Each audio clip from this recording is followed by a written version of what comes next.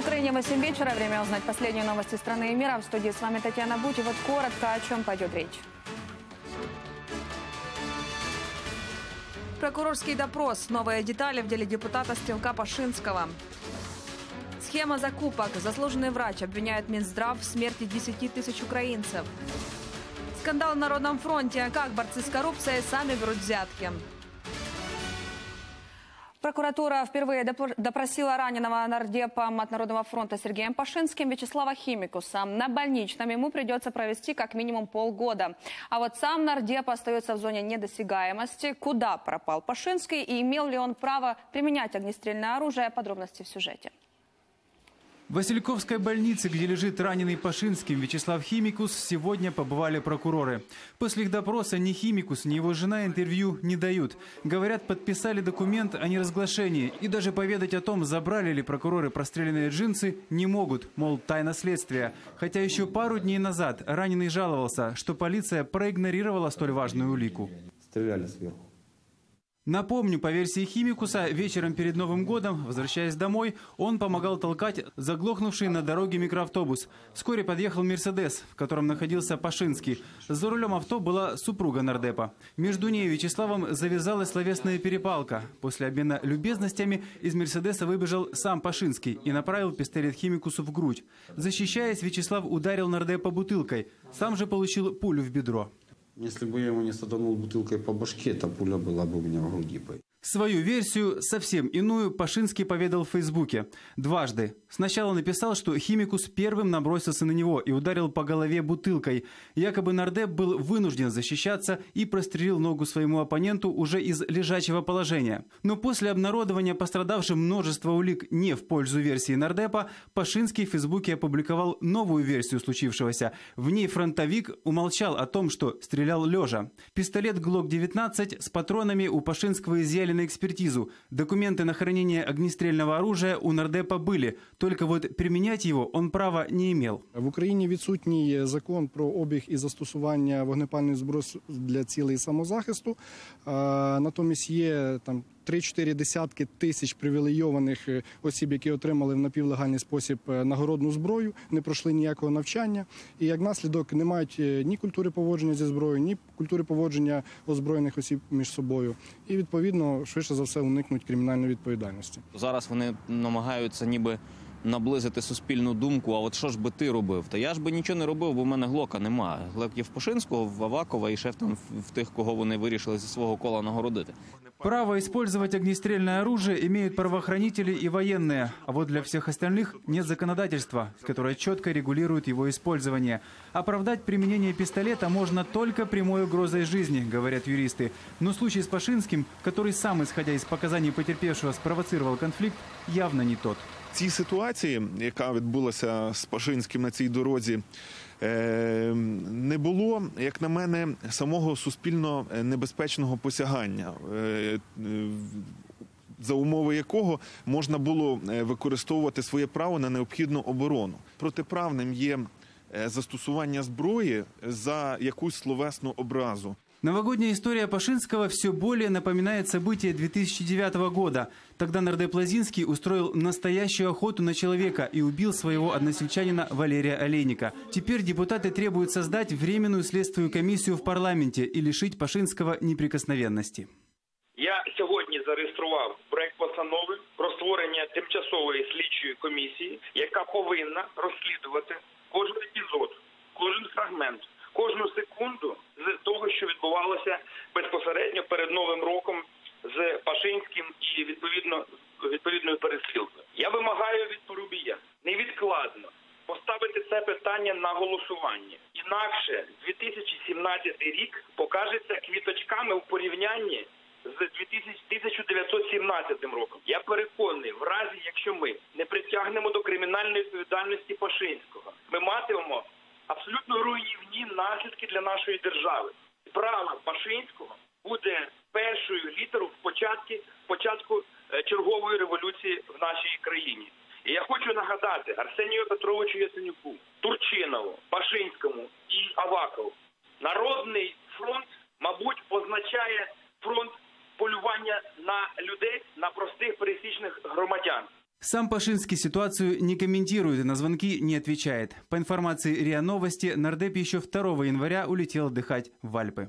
Леонид Аборин, Богдан Савруцкий. Подробности телеканал Интер. Сафари на людей или Лазинский-2. Так уже называют историю со стрельбой Пашинского в соцсетях. Неизвестный волонтер, участник АТО Мирослав Гай на своей странице в Фейсбуке написал, что дело нардепа Стрелка – шанс для власти показать, что в стране есть изменения. И призвал арестовать и судить Пашинского. По закону, на его месте любой рядовой гражданин Украины уже оказался бы за решеткой, написал Гай. Я напомню, что нардепа Вадима Новинского лишили депутатской неприкосновенности за одно только подозрение. Вопросы появились и к однопартийцу фронтовика Пашинского Арсену Авакову. Оказалось, что подчиненное ему ведомство нацполиция до сих пор не передала в Генпрокуратуру изъятые в квартире экс-премьера Николая Азарова ценности. Об этом на своем сайте сообщили украинские национальные новости. Информагентство поинтересовалось в Киевском управлении нацполиции, какова судьба так называемого азаровского добра, якобы обнаруженного в начале декабря во время обыска в одной из квартир дома по улице Григоренко в столице. Оттуда прислали ответ. Изъятое в Генпрокуратуру не передавалось. В музее для передачи им найденных в квартире произведений искусств не обращались. Я напомню, что месяц назад в Дарницком районе Киева полицейские якобы нашли квартиру-склад Николая Азарова. О чем министр внутренних дел, стоически хранивший молчание после кровавой перестрелки в Княжичах, не упустил возможности похвастаться в Фейсбуке.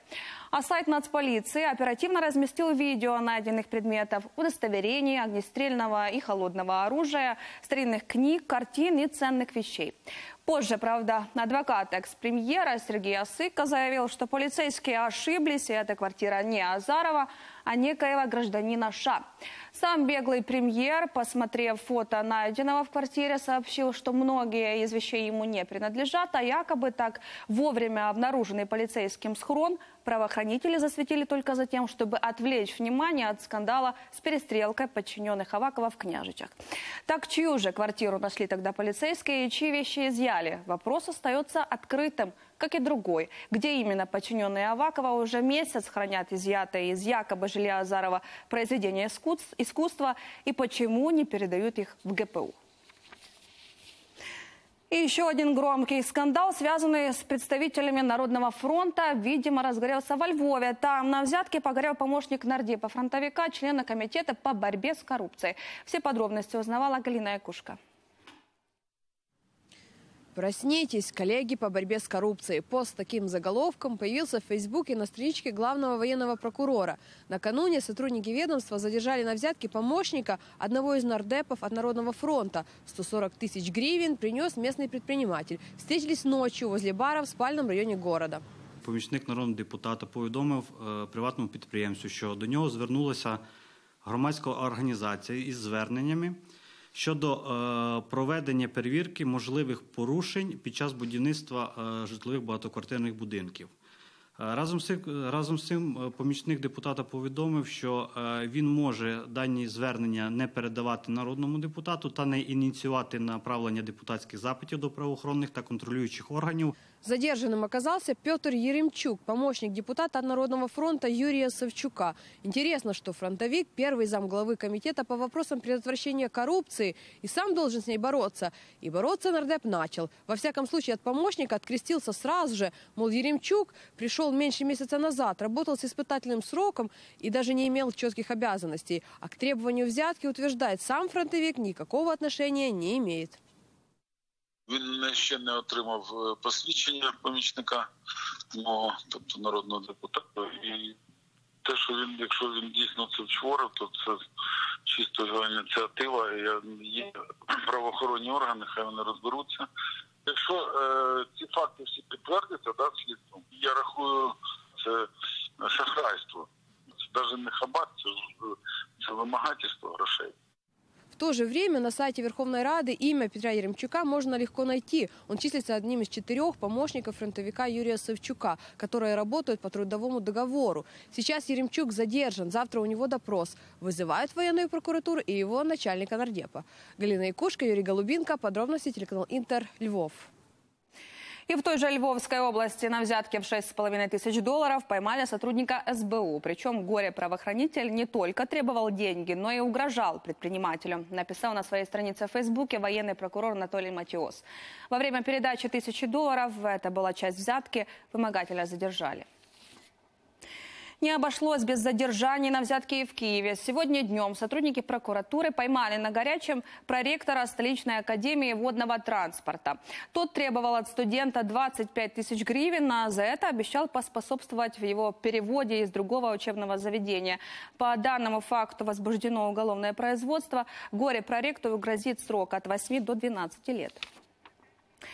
Сергея Курченко арестовали, пока, правда, заочно. Об этом на своей странице в Фейсбуке заявила пресс-секретарь генпрокурора. По словам Ларисы Сарган бизнесмена подозревают в противоправном завладении средствами государственных и частных банков, а также предприятиями, большая часть которых связана с нефтяной промышленностью. Кроме того, младого олигарха обвиняют в легализации доходов, полученных преступным путем. Также Сарган сообщает, что действия Курченко нанесли стране ущерб в 7 миллиардов гривен. Я напомню, что с марта 2014 года бизнесмен находится в международном розыске. Директор Института сердца Борис Тодоров и руководители Минздрава продолжают выяснять отношения. Известный специалист обвиняет чиновников в умышленной задержке с проведением госзакупок препаратов для кардиобольных и даже в гибели десятков тысяч украинцев. В ответ чиновники от здравоохранения назвали заслуженного врача рупором Кремля.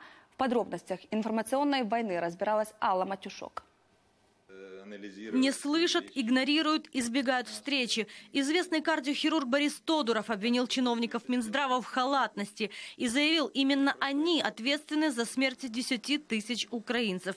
В ведомстве до сих пор не провели закупки препаратов для пациентов с сердечно-сосудистыми заболеваниями. 357 миллионов гривен, выделенные в 2016 году, до сих пор не освоены. Возьмем самый простой пример. Стенты – они действительно не закуплены. Когда мы получим эти стенты? В год случается 50 тысяч инфарктов. Смертность по разным областям от 16 до 20 процентов. То есть умирает практически каждый седьмой, шестой. Если больных стентировать, смертность снижается в четверо. То есть она не превышает 4-5 процентов. Скажите, кто-то может посчитать эту математику? Это же очень просто. Это видеообращение Тодоров опубликовал на своей странице в Фейсбуке сегодня. И оно не единственное. Здесь, на страницах в социальной сети, развернулась настоящая информационная война. После резкой критики руководства Минздрава в адрес кардиохирурга посыпались обвинения в заангажированности и связях с пророссийски настроенными политиками. В ответ на самые резкие из них Тодоров тут же публикует новое видеообращение. Дискуссия, по его словам, уже переросла в конфликт. Я оперировал маму Аксенова.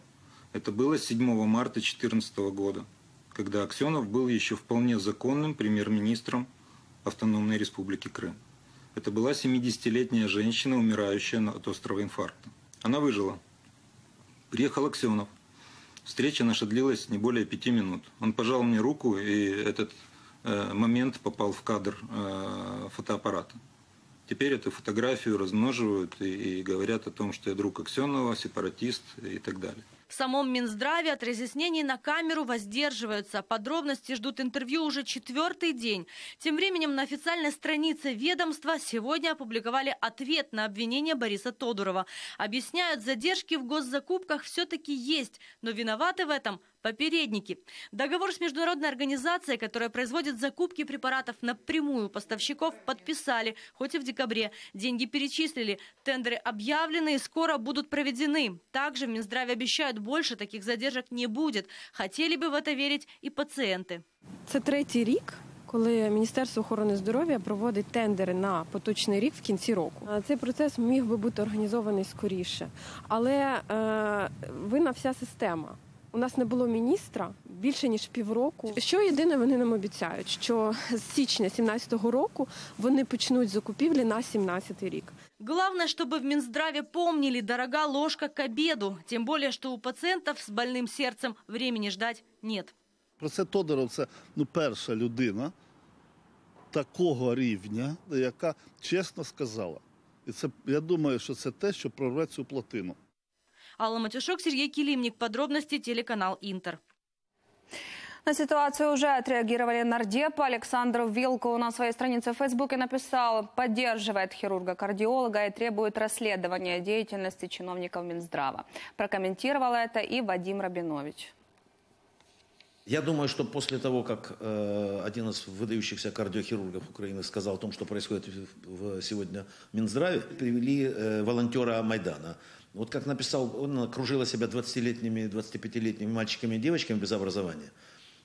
И заявление о том, что она своим бездействием убила больше украинцев, чем война, обязано быть расследовано парламентом. Взрыв в Сумах. Он прогремел вчера вечером в многоэтажке в спальном районе города. Погибла женщина. Эпицентр взрыва находился на седьмом этаже, прямо над ее квартирой. Еще два человека, 60-летний мужчина и 6-летний мальчик, получили ранения. Взрывной волной полностью разрушены прикрытия между этажами. Вместо балкона образовалась огромная дыра. Осколками и обломками стены повреждены машины, которые стояли во дворе. Уже известно, что взрыв устроил психически больной мужчина. Всех жильцов, это около полутысячи человек, пришлось эвакуировать. Их разместили в общежитиях и гостинице. Многие отправились к друзьям и родным. По предварительным данным, разрушения коснулись более 50 квартир.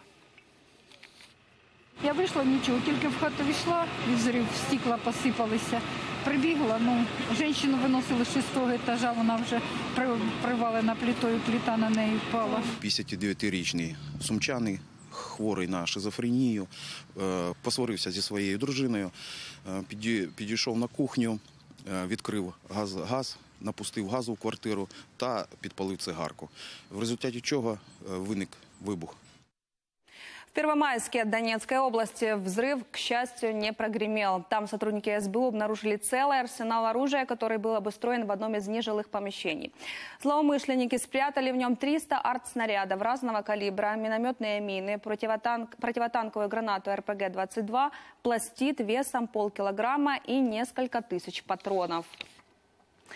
Петр Порошенко подписал закон об усовершенствовании порядка прохождения военной службы. Документ дает возможность военнослужащим контрактникам по желанию продлить договор или уволиться из вооруженных сил. Вместе с тем президент уверяет, что ротация солдат и офицерского состава ни в коем случае не отразится на боевой готовности армии.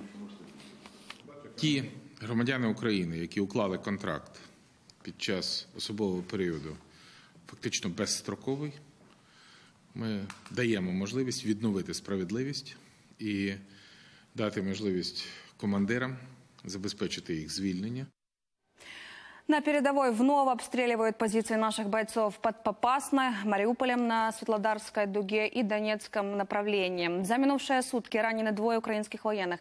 Но на отдельных участках фронта все же устанавливается тишина после последних переговоров в Минске. Как она звучит, слышал Геннадий Вивденко. Просто время поменял, захода-выхода на пост, они, видно, по старому времени. Ну, мы периодически время меняем. Ну, вон, смотри, какая кучность осколков по дому. Командир с позывным Юхан рассказывает, как с той стороны еще несколько дней назад ударили из минометов, когда очередная смена бойцов должна была зайти на опорный пункт. Перед этим боевики тщательно изучили, когда это происходит. Украинских бойцов спасло постоянное изменение правил дежурства на передовой. Сейчас в этих окопах почти тишина. Тишина в районе обороны Красногоровки и Маринки призрачна. Вот вчера бойцы собирались нарубить дров, однако с той стороны начали стрелять из ДШК разрывными одиночными выстрелами.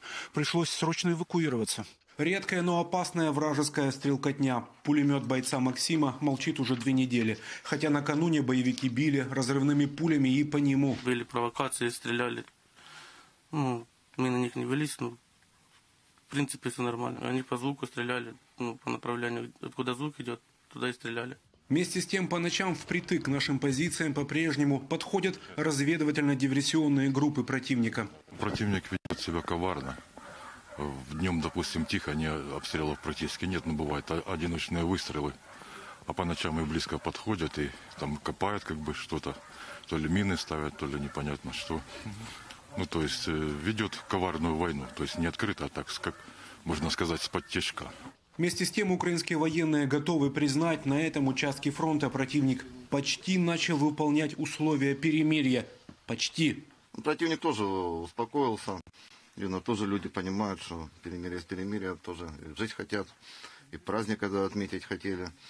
Но дело в том, что все равно среди них находятся провокаторы, которые провоцируют. Мы не отвечаем. Ну, они бывают запустят это самое, то ли СПГ, то ли РПГ, ну, когда что. Ну, и периодически работает снайпер, но работает бесприцельно. Наши бойцы надеются, что это хрупкое затишье продолжится и можно будет хотя бы спокойно встретить грядущее Рождество. Геннадий Вивденко, Иван Матриченко и Руслан Терентьев. Подробности телеканал Интер из Донецкой области. 2 миллиона евро украинцам выделят Австрия. Об этом сообщил глава ОБСЕ и министр иностранных дел Австрии Себастьян Курц в своем твиттере. Деньги предоставят в качестве гуманитарной помощи населению Восточной Украины. Я напомню, что сейчас Курц находится с рабочим визитом в Донецкой области. СБУ обратилась в Министерство иностранных дел с просьбой запретить въезд в Украину кандидату в президенты Франции Марин Ле Пен. Об этом заявил руководитель аппарата председателя службы безопасности Александр Ткачук. Согласие в министерстве могут дать уже сегодня. Сделать Ле Пен невъездной хотят из-за высказываний по поводу Крыма. Я напомню, что накануне политик заявила, что аннексия полуострова России не была незаконной. Главная военная прокуратура проведет экспертизу соглашения о продлении на 25 лет базирования Черноморского флота РФ в Крыму. Изъять оригинал документа разрешил Печерский райсуд Киева. Об этом на своей странице сообщила Лариса Сарган, пресс-секретарь Юрия Луценко. Сарган подчеркнула, что у следствия достаточно оснований полагать, что в указанных документах содержится сведения, которые могут подтвердить нарушение процедур подготовки, принятия, подписания и ратификации соглашения для Украины. В Украину идет резкое похолодание мороза до 26 градусов. Непогода, по прогнозам синоптиков, продлится около недели. Из-за сильных снегопадов в Закарпатской и Львовской областях уже ограничили движение фур и автобусов. В Закарпатье, сообщает Госслужба по чрезвычайным ситуациям, закрыли перевалы. В горах Львовской и высокогорьях Ивано-Франковской и Закарпатской областей ожидаются лавины. Вице-премьер Геннадий Зубко поручил местным властям в ближайшую неделю организовать круглосуточную работу оперативных штабов и пунктов обогрева, а также создать необходимые запасы топлива, одежды, медикаментов, продуктов и источников энергоснабжения. А в России из-за непогоды пассажирский самолет выкатился за пределы взлетно-посадочной полосы. И в результате пострадали шесть человек. При посадке в Калининграде у самолета Airbus надломились шасси, и он сел на брюхо. Пассажиров эвакуировали по надувным аварийным трапам. Экстренные службы пока не могут забрать самолет со взлетной полосы. Аэропорт закрыли на неопределенное время. В Нью-Йорке поезд метро сошел с рельсов. Э, не менее 76 человек получили травмы. Авария произошла в районе Бруклин утром в час пик. Поезд двигался не очень быстро, со скоростью 24 км в час, поэтому травмы пассажиров не очень серьезные. Только у одного человека перелом ноги. Неожиданное интервью. Директор ЦРУ, человек обычно не публичный, довольно закрытый, дал интервью американской прессе. Какими сенсациями он поделился и что думает о хакерских атаках? Дмитрий Анопченко все знает. Уже в пятницу американская разведка проведет секретный брифинг для Дональда Трампа. И главная цель – доклад по российским хакерам, насколько их координировала Москва и насколько оправданы недавние санкции Обамы. Трамп даже иронизировал в Твиттере, мол, почему ЦРУ тянет время? Очень странно. Чтобы отстоять свою позицию, глава ведомства Джон Бреннан сам инициировал большое интервью. Главных месседжей несколько. Во-первых, доклад по кибератакам будет сфокусирован только на действиях Кремля, а не на всей проблеме в целом. Бреннан отказался сообщить любые подробности, они засекречены, сказал только, что представит документ и Обаме, и Трампу. В доказательствах причастности Кремля Джон Бреннан уверен и даже вступил в заочную дискуссию с новым президентом. Я бы посоветовал тем, кто до сих пор не видел этого доклада, для кого еще не провели брифинг по этим вопросам, подождать и посмотреть, а что именно разведка нарыла, прежде чем выступать с суждениями. Бреннан против ответных кибератак в отношении России, мол, это было бы низко, считает Викиликс и Ассанджа недостоверным источником информации. Много говорил и о Сирии. Заявил, Россия применяла там тактику выжженной земли. Итог этого – многочисленные разрушения и тысячи невинных жертв. Еще одно признание. По словам директора ЦРУ, американская разведка предвидела, что Россия вмешается в сирийский конфликт. И что это Москва удержала режим Асада в тот момент, когда правительственные войска стали уступать оппозиции. Но в Вашингтоне проявили слабость, когда этому не помешали. Если бы у нас был шанс все сделать заново, стоило ли вносить поправки и изменения? Когда я оглядываюсь назад, то вижу, что мы могли бы по-другому проводить политику, и не только Соединенные Штаты, но и другие государства. Слова Бреннана вызвали резкую реакцию в России. Штаты пытаются подстелить себе соломки, чтобы не отвечать за свои же военные преступления. Месседж Минобороны Федерации. Россия просто борется с террористами и находится в Сирии законно. Заявление чиновников Госдумы. Но тяжелую артиллерию Кремль пока не задействовал. Ведь уже в пятницу придется комментировать доклад, который представит Трампу ЦРУ. И те новые обвинения в причастности к хакерским атакам, которые явно в нем будут. Из Соединенных Штатов Дмитрий Анопченко, Американское бюро телеканала «Интер».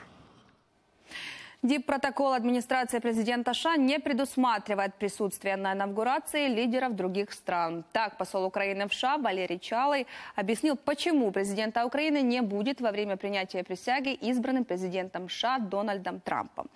На этом вопросе спекулировали многие СМИ, мол, украинского президента не пригласили в Вашингтон. Украинскую делегацию на инаугурации возглавит Чалый. Я напомню, что встреча Петра Порошенко с американским коллегой уже назначена. Она состоится в феврале в США. В Берлине начался суд над информатором ИГИЛ на скамье подсудимых сирийский беженец, который просил в Германии убежища. Где исламисты с его помощью собирались устроить нападение и как продвинулось расследование стамбульского теракта. Все подробности в нашем сюжете. Подсудимый 19-летний сириец во время заседания прячет свое лицо за плотным листом фольги. Молодого человека обвиняют в пособничестве ИГИЛ. Он якобы помогал боевикам в планировании теракта в центре немецкой столицы. По версии следователей, подсудимый отправлял террористам детальную информацию о площади Александр-Плац, Бранденбургских воротах и территории у здания Рейхстага. Подозреваемый обвиняется в участии в террористической организации, а также в нарушении закона об обороте оружия. Несмотря на юный возраст, подсудимый успел год повоевать в рядах ИГИЛ на территории Сирии. В августе 2015-го он прибыл в Германию в качестве беженца и попросил убежища. В марте этого года был задержан. Предполагается, что слушания по его делу по существу продлятся до апреля. Процесс проходит на фоне общественных дебатов по поводу возможного повышения уровня террористической угрозы в стране. Об этом в Германии заговорили после теракта на Рождественской ярмарке, где выходец из Туниса убил 12 человек. Сегодня правоохранители обыскали дом преступника Аниса Амри. Также следователи вышли на след двух его сообщников. Один из них уже задержан. Согласно нашим данным, Анис Амри и подозреваемый были знакомы с конца 2015 года. Вечером накануне нападения они встречались в ресторане и долго общались. Продолжается расследование и по делу о стамбульском теракте. Полиция продолжает поиски стрелка, который устроил массовую бойню в ночном клубе в новогоднюю ночь. В МВД отчитались. Вероятный исполнитель им известен, но имени не называют. По неофициальным данным, это уйгур, который попал в Турцию по поддельным документам. Среди задержанных по делу 27 человек. Их подозревают в пособничестве террористу. Среди них выходцы из Дагестана и стран Средней Азии. Мы не допустим, чтобы террористы диктовали нам условия, мы не позволим этого. Любой, кто хочет доказать обратное, пусть только попробует. Тем временем следователи рассказывали о деталях случившегося. Известный полиции, но пока не пойманный боевик открыл огонь из автоматической винтовки. Раненых на земле расстреливал в упор. В результате нападения 39 человек погибли, еще 70 получили ранения. Виталия Гушмырук, подробности, телеканал Интер. В Мадриде объявили охоту на диких кабанов и в то же время запретили огнестрельное оружие. Почему? Об этом и не только в наших международных новостях. Популярная американская певица Джанет Джексон родила первенца. Новорожденному уже дали имя Эйса. Первые роды у 50-летней сестры короля поп-музыки Майкла Джексона прошли легко. Отец мальчика третий муж Джексон, катарский бизнесмен, младше жены на 9 лет. Лайки для порно от еврокомиссара. Страницу в Твиттере еврокомиссара по региональной политике и экс-вице-президента Европарламента Карины Крицу взломали хакеры. И от ее имени ставили лайки порнографическим фотографиям, видео со зверушками и хип-хоп композициям. Вечером 3 января эти ссылки были видны на ее странице. Позже их убрали. В районе Мадрида началась очередная кампания по отстрелу диких кабанов, но истребление животных ведется необычным образом из луков, для того, чтобы не пугать местных жителей выстрелами. В течение последних пяти лет региональные власти не раз объявляли подобную кампанию. Кабаны не только наносят ущерб сельхозугодьям, но и становятся участниками дорожно-транспортных происшествий, только в прошлом году 146 раз. Последние новости вы также можете узнать на нашем сайте подробности UA. Приятного вам вечера среды и встретимся завтра.